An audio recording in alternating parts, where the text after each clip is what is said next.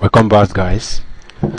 So what we'll be doing in this video right now is a tissue about Dreamweaver. I'll just launch an HTML page for us to explain what I'll be showing you. This is the work environment. Right now you might not be familiar with this Dreamweaver CS6 if you've not been using it before but that is step aside what I want to be explaining to you right now is this theory or this four element here. One we have the code we have the split we have the design and the live view. These are three four different views in Dreamweaver which developers use during the course of any app development. This is the code view the code environment where every coding has to be done. And this is a split view a division of code view and the design view here whatever you're writing in here will also indicate right here on the design view. That is to show you that you can be working and be previewing right away on this side.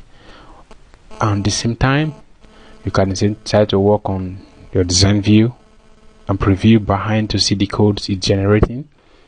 And if you're working probably you've designed something and you want to see it how it's going to look on the browser then the live view becomes handy. This live view shows you exactly how this is going to render in the browser for you to see.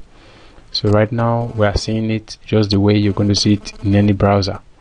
So this live view is used to preview our work live to see how it's going to look like or you can rather go through this process of previewing in any of your browsers you have installed in your systems.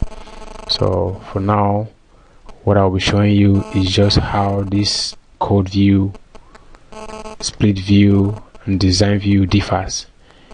Talking about the code view professionals can work here design the entire page from here without ever going to the design view to see how it's looking because they already have a, a pre-knowledge of what is going to be coming up as soon as you render it to the browser.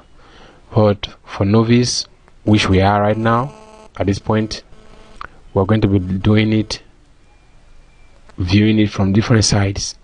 We'll use the split view we'll use the design view we the live view as we go along. Because for every single step we want to be undertaking we want to see how it's affecting our job. So we'll be using split and code view most of the time while the design view we can use we can render to our browser to see how it's going to look in terms of the design view itself.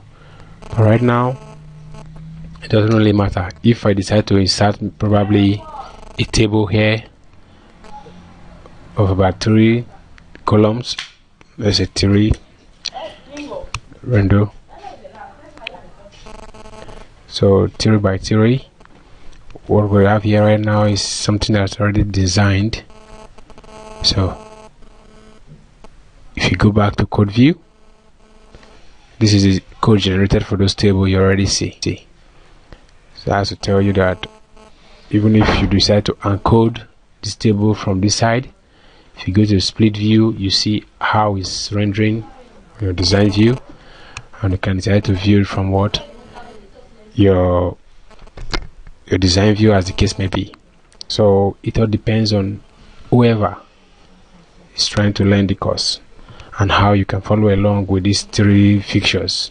These are your your tools you'll be using as this course progresses. So see you in the next video where we'll be talking about how to kickstart our website. See you